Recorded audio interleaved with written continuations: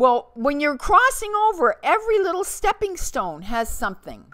That's what I meant by asking God. Every day, do what He asks you to do, which leads you to your door. Sometimes it leads you to an assignment. There's a difference between an assignment and a door. Okay? And so I get to this, I, I, I get in, uh, uh, I'm going to go to this huge revival camp. And somebody said to me, Oh, you should let them know and you'll do a workshop out there. Why don't you go out there and meet a bunch of new people? Then all of a sudden, I'm thinking, Well, I never really thought about that. And, um, and I'm wondering.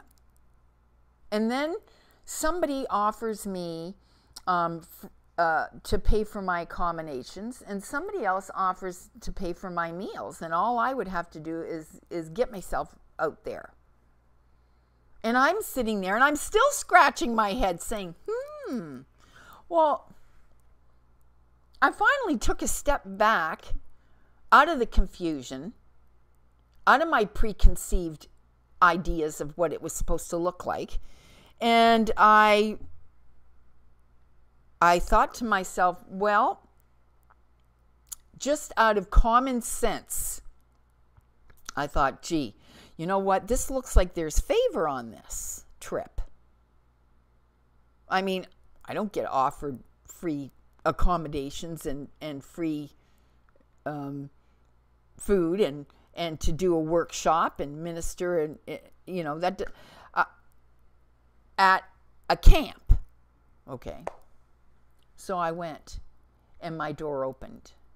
And when I tell you my door opened, it, it wasn't just an assignment, it was a big, effectual door. And did I have to work at it? No. I just had to do what God asked me to do on a daily basis. That led me to the door, that led me to the alignments, that led me to the people that God was whispering to. You see what I'm saying here? We can list, okay, you got to align, you got to do this, you got to do that. But you see, the thing is, the main thing is, is that you do what you got to do today, which is going to lead you to what you got to do tomorrow.